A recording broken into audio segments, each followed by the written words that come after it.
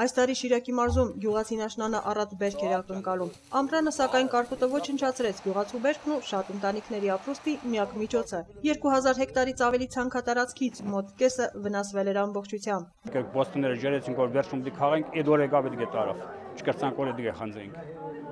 ընդհանրապես վաբշե գյուղի վիճակը շատ ծայրահեղ ծանր է։ 6 հեկտար ցաներին 6 գրամ չեմ քաղել։ Շիրակի մարզում կարկտահարությունից առավել տուժած ընտանիքներին այս տարի նույնպես օգնության ձեռք մեկնեց հայկական Կարմիր խաչի ընկերությունը 925 ընտանիք, ընդհանուր առմամբ 4606 անձ։ Հայկական Կարմիր խաչի ընկերությունից կստանա մարդասիրական օգնություն, ընտանիքների յուրաքանչյուր անդամ 32575 դրամ։ Սա հունիսի 27-ին է մենակ, հունիսի 27-ի մոնիտորինգի արդյունքում ստացված